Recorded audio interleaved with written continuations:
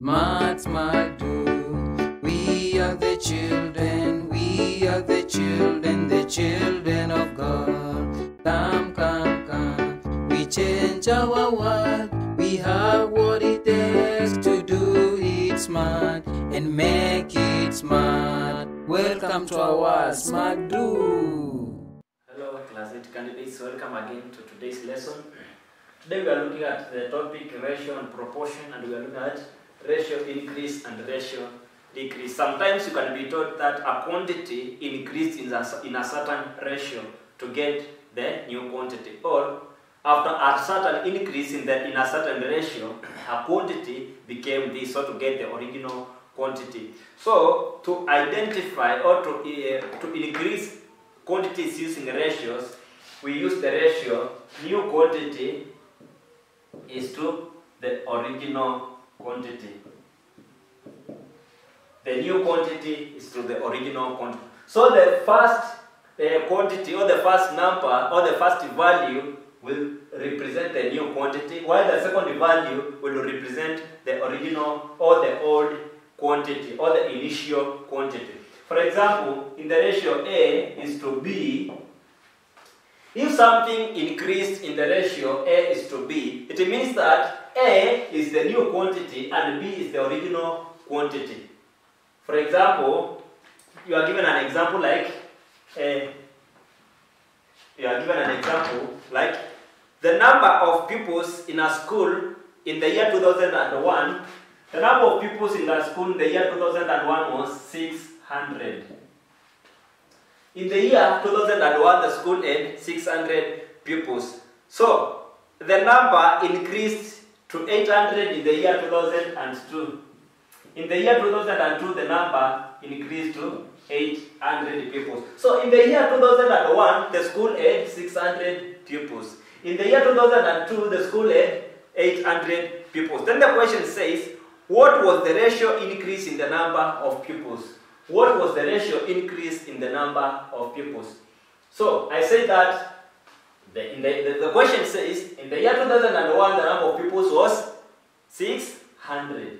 In the year 2002 the number of pupils increased to 800. That means the new quantity is 800. We use the formula new ratio is to original.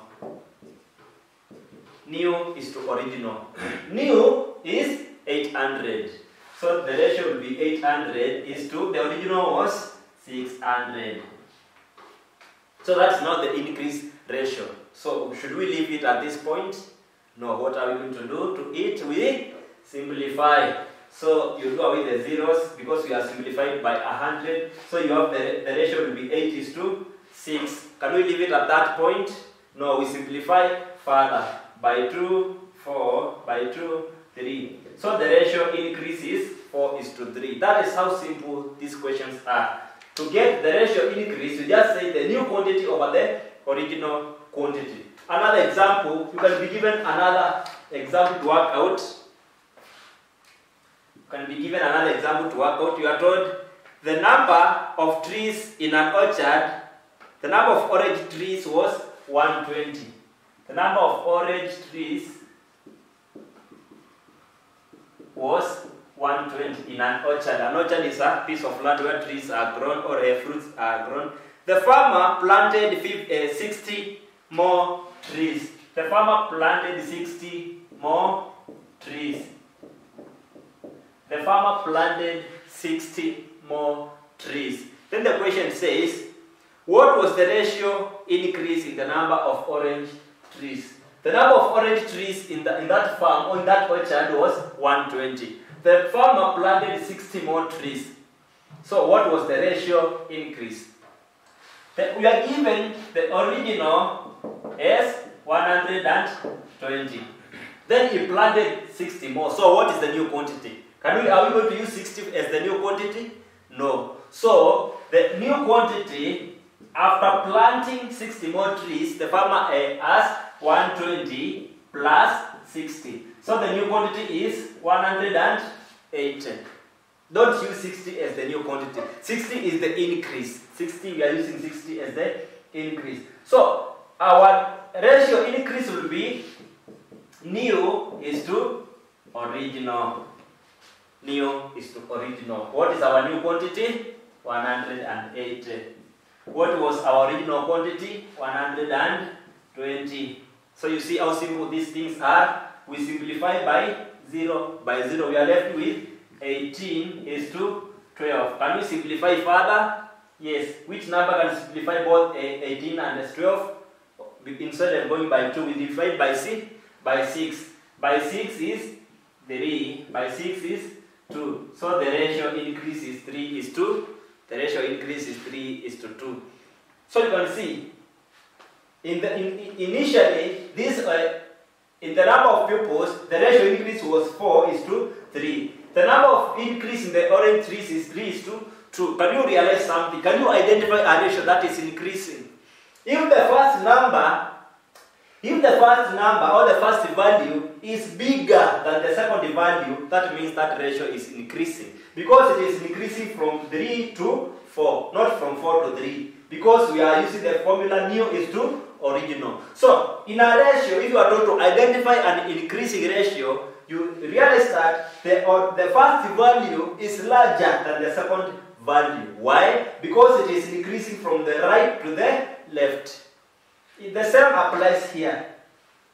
The first number is the or the first value is 3 and the second value is 2. You can see the first value is greater than the second value. So that means this one is an increasing ratio.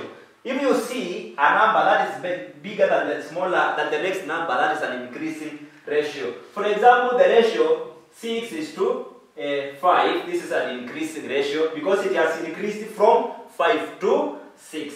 You can be given another number, another ratio like 12 is to 13. Uh, sorry, uh, 15 or rather 17 is to 13. 17, uh, something increase the ratio, 17 is to 13. That means 17 is greater than 13. So this is an increasing ratio. So to identify an increased ratio, you look at the number whereby the, the, the first value is greater than the second value. Let us look at another example. Let us look at another example. This one was about percentage, I mean ratio increase.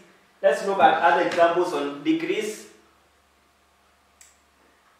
A farmer delivered 480 liters of milk in the month of June.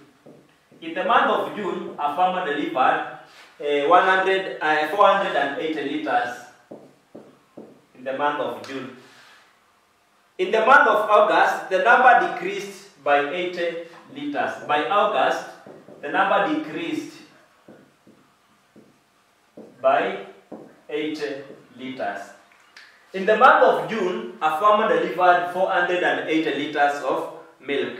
In, by the month of August, this number had decreased by 80 liters. What was the ratio decrease in the number of liters delivered? What was the ratio decrease in the number of liters delivered? So, in the month of June, this farmer delivered 480 liters. By the, in, the, in the month of August, what was the number of liters that the farmer delivered? It had decreased by 80. So, what is the new quantity? Here we have 480 minus 80 liters. So, by the month of August, this farmer was delivering 400 liters. What was the ratio decrease? We still use our formula new is to original. Neo is to original. What is our new quantity? Our new quantity is what? 400 liters. Is to what is our original? Our original is 480 liters. Neo is to original. That is the same same formula that we are using. So we simplify by 0. So we have 40 is to 48. 40 is to 48. We simplify by what? By 4. By 4 we get 10. By 4 we get 12. Can we simplify further? Yes.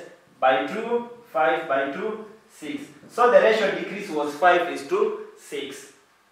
The new is to or the original. That is what the same- same formula we are using. So you realize that in ratio decrease, the first quantity is smaller than the second quantity. Why? Because it has decreased.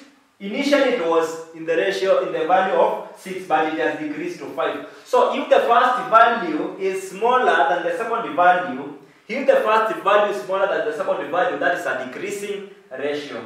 So, what are some of the other ratios which shows decreasing ratio? For example, 3 is to 4. This is a decreasing ratio.